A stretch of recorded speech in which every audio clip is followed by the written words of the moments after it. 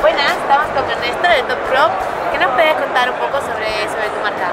Bueno, os explico un poco. Top Crop es una marca española, en concreto valenciana, que surge hace unos eh, 4 o 5 años, básicamente porque aquí en España tenemos muy buenos fertilizantes y era un poco absurdo el estar continuamente importando fertilizantes holandeses para el cultivo de cannabis.